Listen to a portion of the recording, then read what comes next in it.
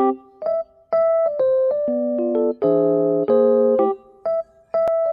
guys! Welcome or welcome back to my YouTube channel. It's me, Lauren. So, today is Saturday, October 1, 2022. So, bagong day, bagong vlog na naman tayo guys.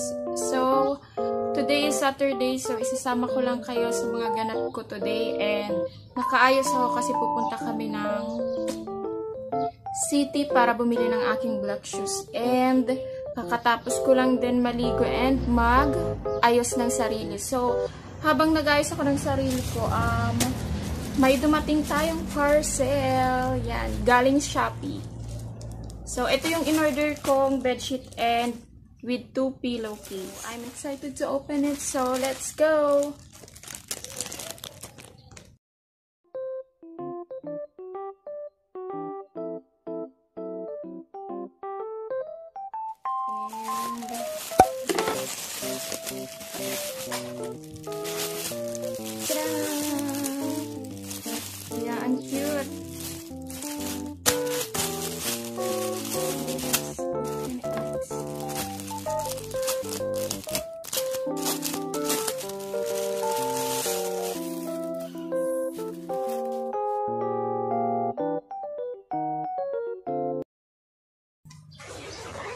Ayan siya guys, oh. May zipper. Dalawang ganto, dalawang pillowcase, and isang bedsheet.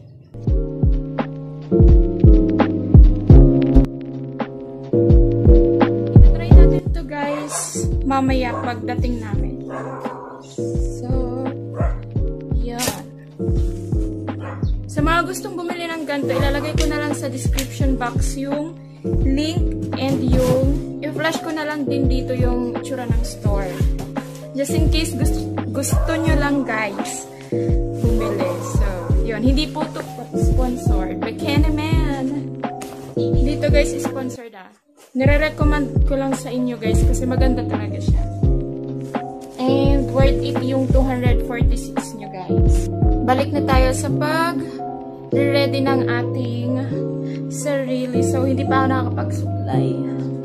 Yun, siningit ko lang talaga yung parcel kasi sakto dumating naman siya ngayon. Bali, in-order ko siya siguro mga 3 to 4 days lang tapos dumating na siya. A few moments later.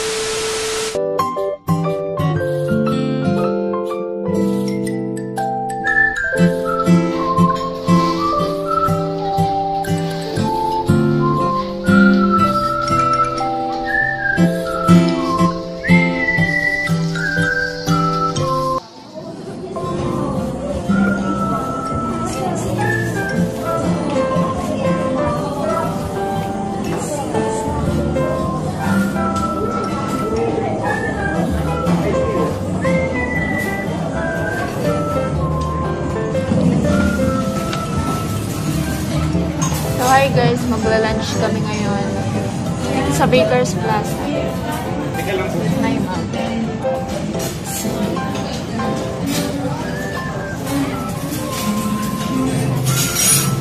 It's already 1.15.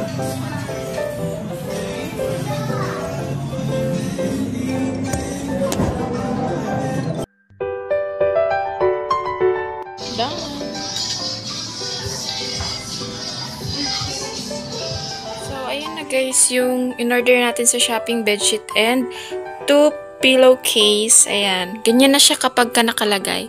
Hindi ko na na-video yung paglagay kanina kasi I'm so tired. Basta yan na yung two pillowcase. Yan. One, two, tapos itong bedsheet. Yung size pala ng bed ko is double. Double, so, ayan siya. Hey guys!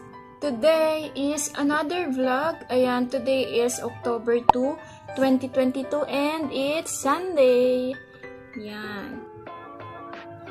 It is Sunday, yeah. And it's already 1.31 in the afternoon. So, hindi pa ako nagla-lunch, guys. Nagising ako ng super, super late lang naman. Nagising ako 10 a.m. and nag-breakfast ako ng 11 a.m.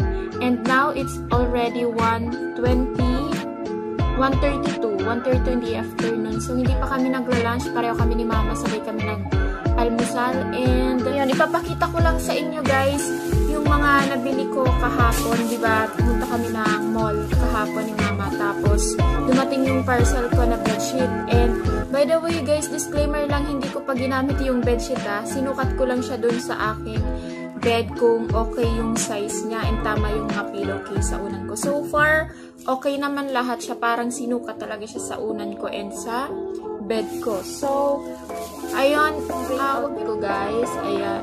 Uh, naglagay lang ako ng brilliant sunscreen sa aking mukha and hindi ako naglagay ng powder or any makeups on my face kasi iniiwasan ko talaga para hindi ma-irritate lalo yung mga pimple ko. And, ayan, okay naman siya. Ito, nag-flatten na siya. Ito,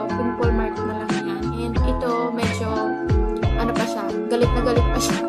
yung ganito and ito and ito. So, let's go. Konti lang naman yung napamili ko kasi ang purpose talaga namin kahapon is mag-grocery. So, hindi ko na na-haul yung grocery kasi napagod na ako kagabi.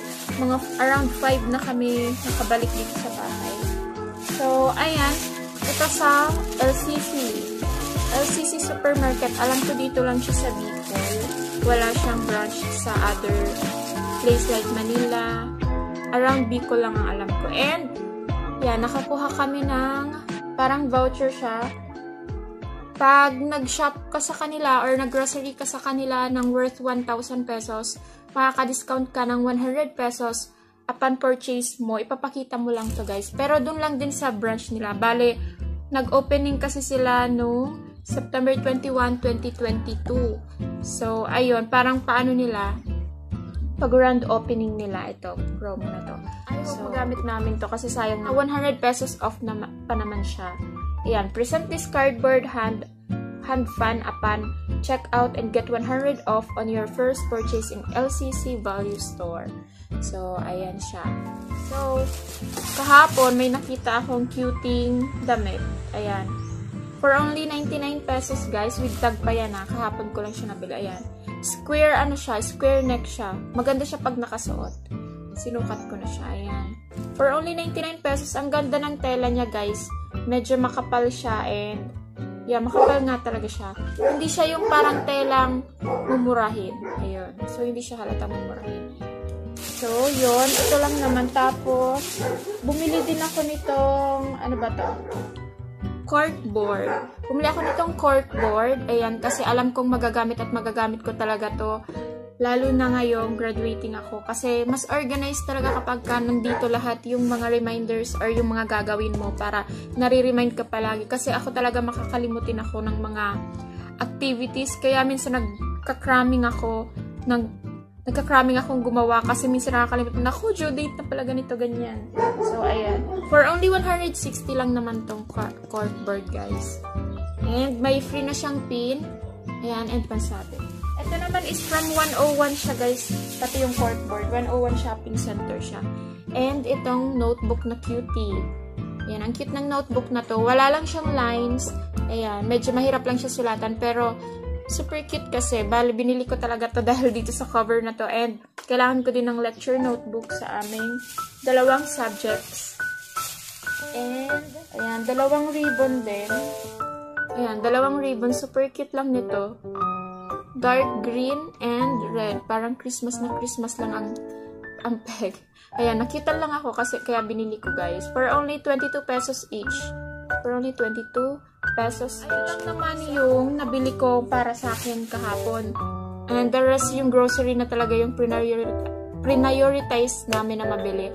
And hindi ko pa alam kung ano yung ganap ko later So, tingnan natin kung ano pa ba yung pwede natin gawin. By the way, guys, nagbabalak sana kami ng friend ko na mag-badminton.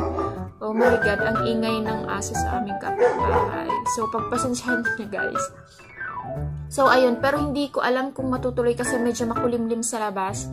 Baka umulan na naman kasi kapag kahapon talaga umuulan dito. By the way, guys, abangan niyo po yung ating video for room makeover and hopefully sana maging maganda yung kalabasan ng room makeover na to. Tingnan natin kung ano pa yung gagawin natin. See you later, guys!